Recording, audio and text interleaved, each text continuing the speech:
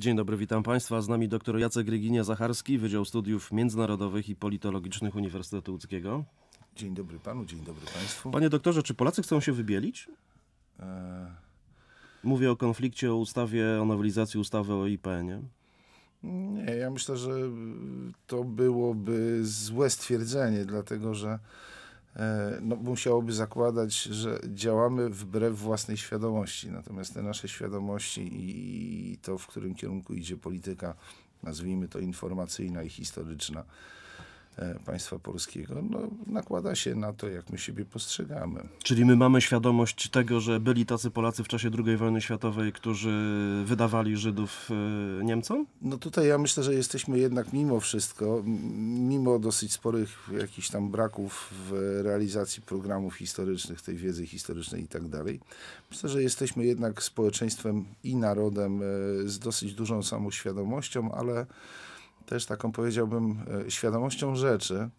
E, dlatego, że o ile pierwsza wojna światowa tak naprawdę w naszej świadomości zbiorowej nie istnieje, o tyle na temat II wojny światowej no tych przemyśleń na pewno jest bardzo dużo i ta sama świadomość jest zdecydowanie większa, ona po prostu jest.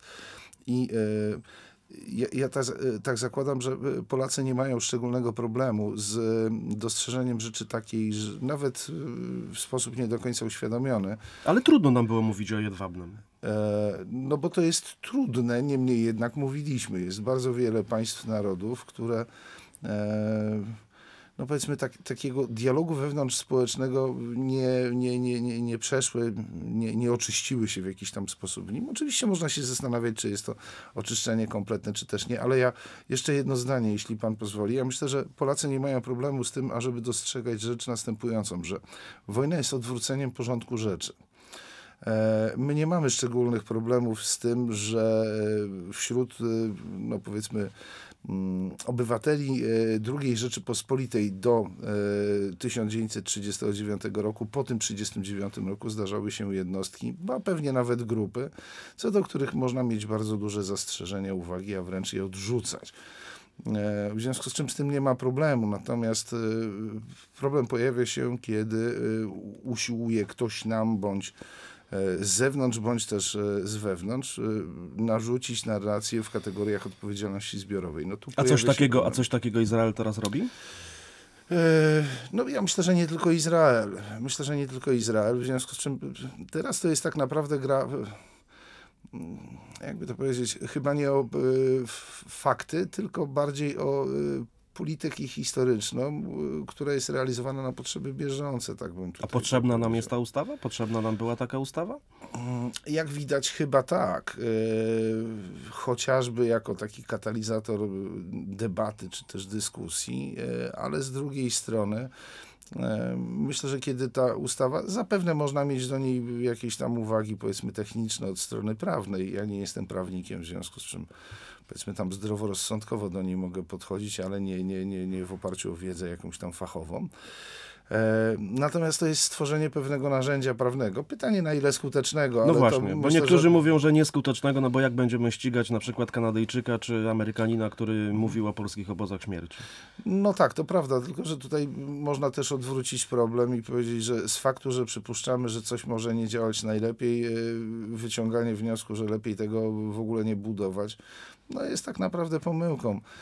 E, W związku z czym zobaczymy, jak to będzie realizowane. Ja myślę, że sam fakt e, pojawienia się takiego narzę- narzędzia, no nie wiem, czy tam jakiejś penalizacji, bo tu przecież też nie chodzi o to, żeby ludzi zamykać w więzieniach, tylko stworzenie pewnego, no możemy to tak trochę metaforycznie nazwać wykrzyknika, że to nie jest w ten sposób, że to w ogóle przechodzi niezauważone, no już jest jakimś tam e, sygnałem i to chyba dosyć mocno. Jeżeli pan mówi, że Polacy, my nie mamy problemu z tym, żeby mówić o trudnej bolesnej y, czasami historii narodu polskiego, na przykład w czasie II wojny światowej, to dlaczego Izrael tego nie rozumie?